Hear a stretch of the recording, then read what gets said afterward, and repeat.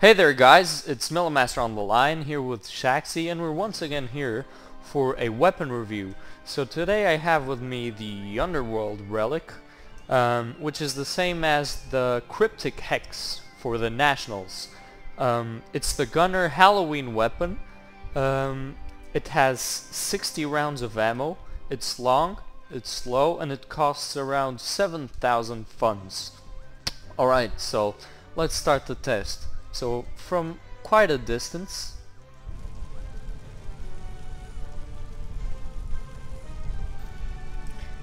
As you can see uh, not bad a damage uh, Shaxi if, if you could please heal yourself.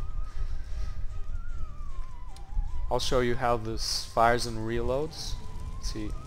I'm just firing some I don't know shadow pellets something like that. It reloads like this, which is pretty cool. Alright, so now a little bit closer. Say, more or less... Oh, someone joined us. Say hey.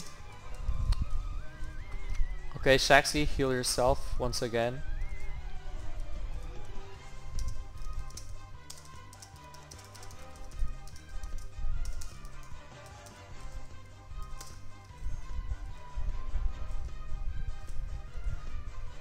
Um, alright, so a little bit closer now. Hmm, it's actually pretty good for this range. It's more or less of a long slash moderate uh, weapon. It's pretty cool. Might be able to compete with the laser gun from over here. Alright, so a little bit closer. Still not bad.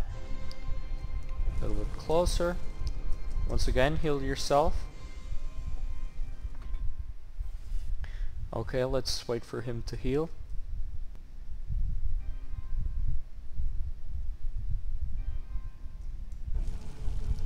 Yeah, still quite some damage. Um, the only problem is that it's a slow weapon. Yeah, so that will cancel out most of the high damage it's getting. So yeah, if you get too close, the damage just depletes.